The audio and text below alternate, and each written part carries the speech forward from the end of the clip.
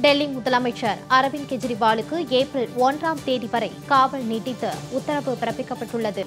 கெஜ்ரிவாலுக்கு வழங்கப்பட்டிருந்த ஏழு நாட்கள் விசாரணை காவல் இன்றுடன் நிறைவடைந்த நிலையில் மேலும் நான்கு நாட்கள் விசாரணை காவல் நீட்டிக்கப்பட்டுள்ளது.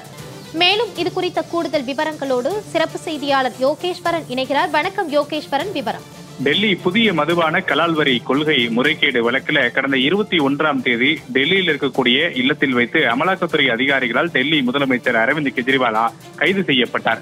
இருபத்தி இரண்டாம் தேதி டெல்லியில் இருக்கக்கூடிய விசாரணை நீதிமன்றமான ரோஸ் அவென்யூ நீதிமன்றத்தில் அரவிந்த் கெஜ்ரிவால் ஆஜர்படுத்தப்பட்டு ஏழு நாட்கள் விசாரணை காவல் அதாவது மார்ச் இருபத்தி எட்டாம் தேதி இன்று வரை அமலாக்கத்துறை விசாரணை காவல் என்பதை விசாரணை நீதிமன்றம் வழங்கியிருந்தது. இந்த நிலையில்தான் இன்றோடு அமலாக்கத்துறைக்கு வழங்கப்பட்டிருந்த அந்த விசாரணை காவல் என்பது முடிவடையக்கூடிய நிலையில இன்று அரவிந்த் கெஜ்ரிவால் பலத்த போலீஸ் பாதுகாப்புக்கு மத்தியில் விசாரணை நீதிமன்றமான ரோஸ் அவென்யூ நீதிமன்றத்தில் இன்று பிற்பகலில் ஆஜர்படுத்தப்பட்டார். இந்த வழக்கினுடைய விசாரணை என்பது நீதிமன்றத்தில் நடைபெற்ற போது வழக்கினுடைய விசாரணைக்கு அரவிந்த் கெஜ்ரிவால் ஒத்துழைப்பு கொடுக்க மறுக்கிறார். குறிப்பாக அமலாக்கத்துறைக்கு கேட்கக்கூடிய கேள்விகளுக்கு முறையாக அரவிந்த் கெஜ்ரிவால் பதிலளிக்கவில்லை. இப்படியான குற்றச்சாட்டுகளை எல்லாம் முன்வைத்த அமலாக்கத்துறை தரப்பு வழக்கறிஞர்களை பொறுத்தவரை கூடுதலாக ஒரு வாரம் அமலாக்கத்துறை விசாரணை காவல் வழங்கப்பட வேண்டும் என்ற கோரிக்கையும் நீதிபதி முன்பு வைத்திருந்தார்கள். அதே நேரத்தில் அரவிந்த் கெஜ்ரிவால் தரப்புல இருந்து அமலாக்கத்துறை விசாரணை குறித்து பல்வேறு வாதங்கள் எல்லாம் முன்வைக்கப்பட்டது. குறிப்பாக அரவிந்த் கெஜ்ரிவால் கிட்டத்தட்ட ஏழு நிமிடங்கள்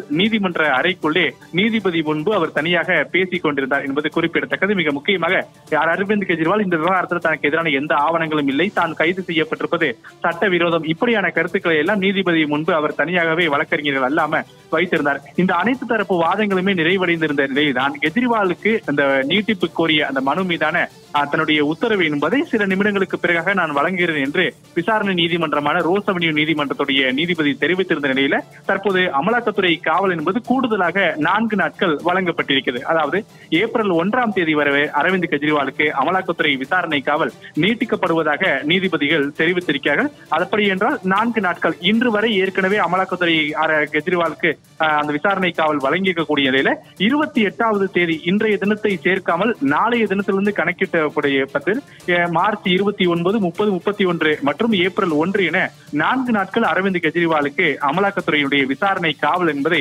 வழங்கி நீதிமன்றத்தை பொறுத்தவரையில் அந்த உத்தரவு என்பது பிறப்பிக்கப்பட்டிருக்கிறது.